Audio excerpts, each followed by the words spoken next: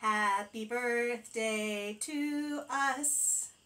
Happy birthday to us. Happy birthday, big spoon, little spoon. Happy birthday to us. It's that time of year again. Today marks the channel's second birthday. It really doesn't feel like I've been doing this for this for that long yet. But that's what YouTube tells me. Our first video was posted two years ago today, and it was American Girl Tries British Yorkshire Pudding. I'll link that down below, but we've come a long way since then. Now, what does every birthday need? A birthday cake, right? So we are going to make a recipe that James has wanted me to make for a long time. His signature recipe, chocolate orange cake. Let's see if we can get him to tell us a little bit about it, shall we? I've been making this orange cake for the last 10 years now. I actually got out of a very old recipe book um, and I just added little things to myself like the the fudge icing. I first made it, it was actually for a, uh, a charity coffee morning and there was a competition on which I came second but the cake was eaten so I'm not complaining. It's a very very rich cake and it tastes absolutely delicious. Well, he sent me the recipe and answered any questions that I had about how to make it. Let's head into the kitchen and get this cake made because I'm eager to try it. Okay, so the first thing that we're going to need to do is put in 200 grams, which is about a stick and three quarters worth of butter. You want this softened so that it creams up nicely without having to fight with it too much. Into that goes 200 grams or one cup of sugar. And like I said, you're going to cream this together. I know you don't want to listen to my mixer. We've been here before. I'll be right back.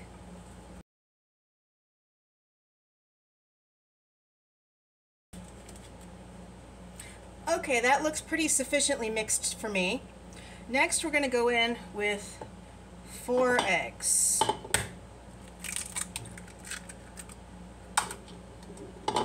And hopefully I don't do what I did in the wine cookie video. If you didn't watch that, I'll link it below. It was pretty funny.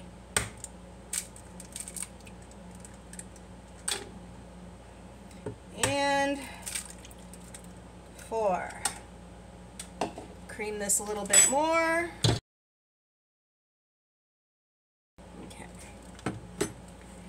Next is 200 grams or a cup and a quarter of self-rising flour. And another teaspoon of baking powder. Okay, uh, after the baking powder, we've got the zest of one orange.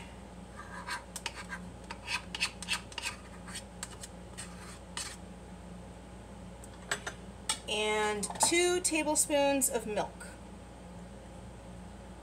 A little more mixing. See you in a second.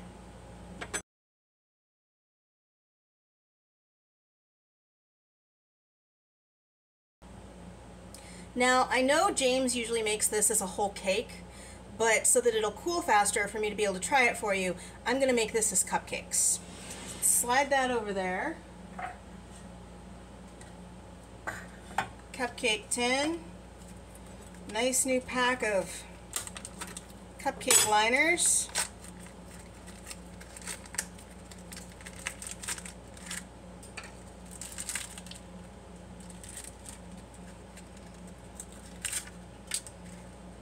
It looks like it's going to make about 12.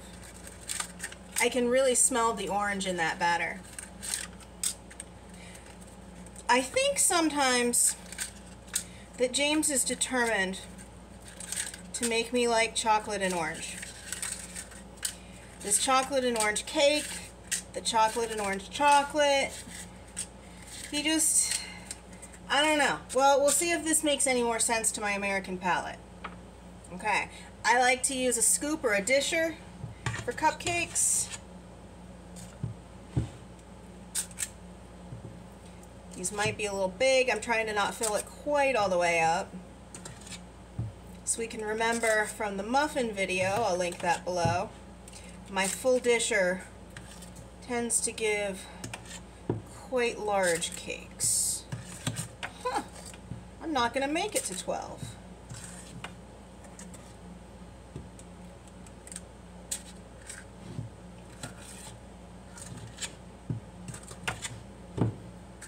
Maybe that means I should be putting quite a bit less in these. Since this recipe is supposed to make a whole cake.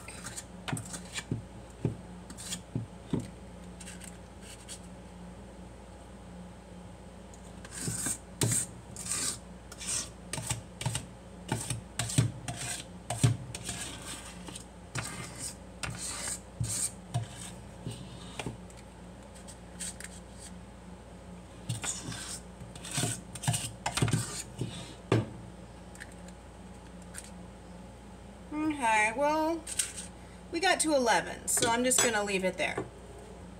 These are going to go into the oven at 190 degrees centigrade, which is 375, for about 20 minutes. Well, that's the time for the whole cake, so I'm going to keep an eye on these since they're cupcakes. But it's probably going to be around 20 minutes. I'll let you know. I'll be back to make the icing with you in just a minute.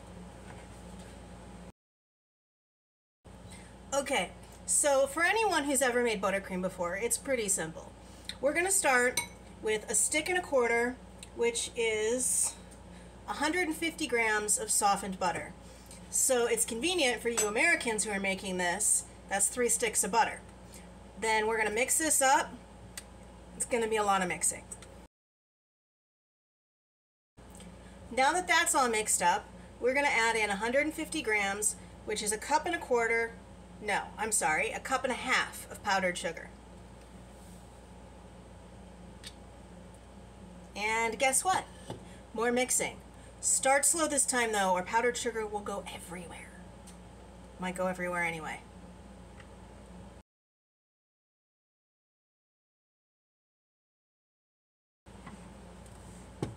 Okay. Now, if this is going to be chocolate buttercream, we need some chocolate, right?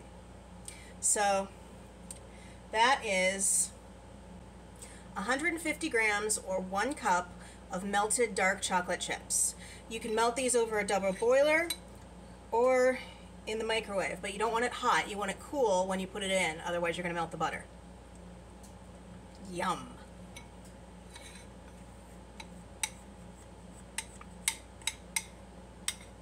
Not going to be real effective there with the fork, I think.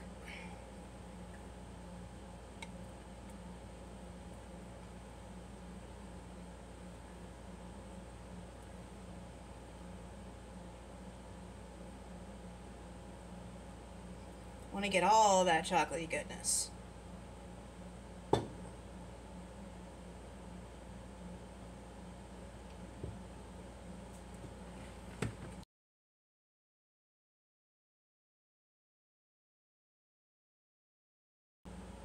Okay, that looks delicious. And we are going to put that into a piping bag so that it's ready when the cakes are done.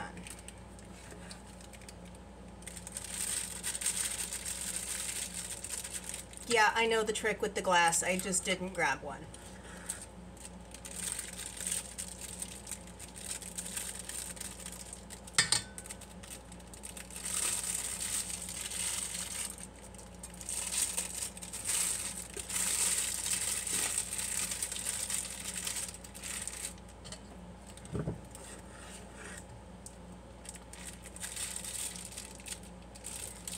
Okay. So I'm going to finish putting this in the piping bag. And then I will see all of you when the cakes come out of the oven. Be right back. Okay, so here we've got some finished cupcakes. Not really sure what happened to that one, but eh. Okay, we do have one more step before we just leave these to cool. And that is we want to take the juice of that orange, and much like when we made the lemon drizzle cake, also linked below, we are going to add two tablespoons of sugar into that juice. Give that a good stir. And then we're gonna poke the crud out of these cakes. This is gonna be a little more difficult than the lemon drizzle cake since these are cupcakes. But I knew a cupcake was gonna take sorry, I knew a cake was gonna take like an hour to cool. And I just don't have that kind of time today. Where the cupcakes, well, I'm going to throw one of these babies in the freezer so that it'll be cool in like 10-15 minutes. Uh, I need a spoon. Okay, spoon. We are going to semi-carefully, since these are cupcakes and this is likely to go everywhere, drizzle this over all the cakes.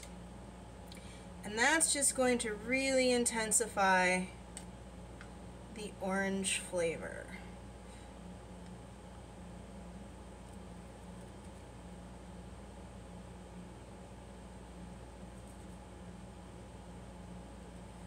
I wonder what the history is in the UK of orange being so popular because I know that, well, at least I'm pretty sure that you can't natively grow oranges there because we grow them in places like California and Florida and it's quite warm. And the UK doesn't get, there's a seed in that, the UK doesn't get anywhere near that warm. So you don't grow citrus there, do you? So, where did citrus originally get imported to you from? And how did it end up becoming so popular as a, well, as a sweets and, I don't know, what do you call it? Chocolate? What would, sweets and chocolate flavoring? Well, I've got a little bit of this left, but I don't want to soak these cakes too much. So, oh, you know what? Whatever. We'll put it all on. The lemon drizzle cake could have used more, so we'll just go on the assumption that this needs it too. Okay, so I'm going to let these cool, and I will see you back where we usually taste things uh, to ice and give one of these a try. See you in a minute. Okay, so I threw a few of the cupcakes into the freezer, and they're cool enough for me to frost now. I figured I'd just bring the frosting out here to frost them for you.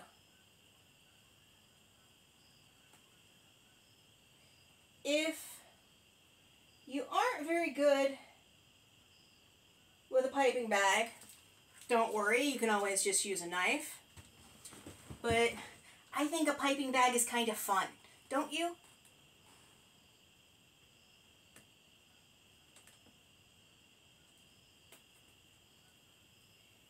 Was gonna bring candles, but as it turns out, I don't have any. Doesn't that look nice? Let's give these a shot. They don't smell super orangey. They're a little crumbly. But then how many people are going to be eating these without a plate?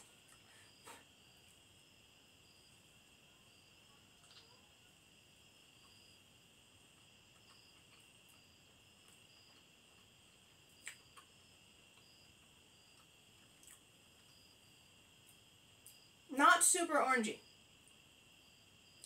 Um,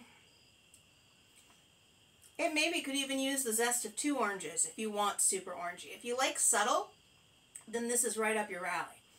The chocolate frosting isn't super sweet, and I like that. I really don't like overly sweet frostings. And so many of American frostings are overly sweet. Um, because of that, it's not a really sweet dessert. I find myself actually liking that. Uh, okay, so if I was served these at a birthday party, I wouldn't be mad at them. If I was served them for my birthday, well, I'm not going to be mad, but I am going to wonder a little bit how well the person knows me.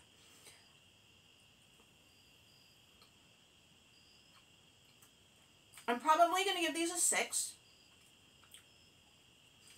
I don't think I'm going to go hunting them down, but they're not bad. I will happily eat my slice or share of slices if James was to make one of these cakes. But like I said, I'm probably not going to make it for myself.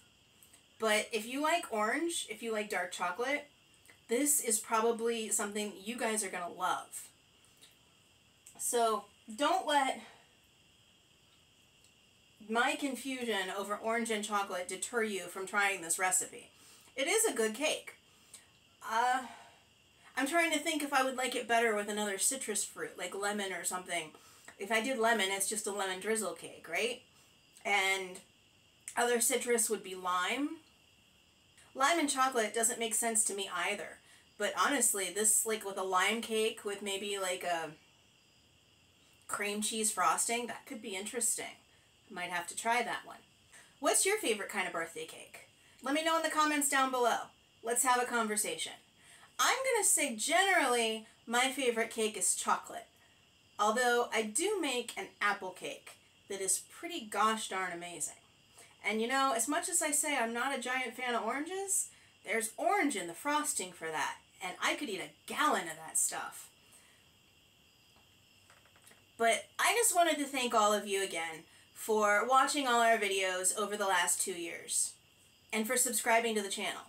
And for those of you who aren't subscribed to the channel yet, you should do so. We come up with a lot of fun stuff. You really don't want to miss it. And why don't you give us a thumbs up while you're at it? Thank you guys. And I will see you in the next video. Bye!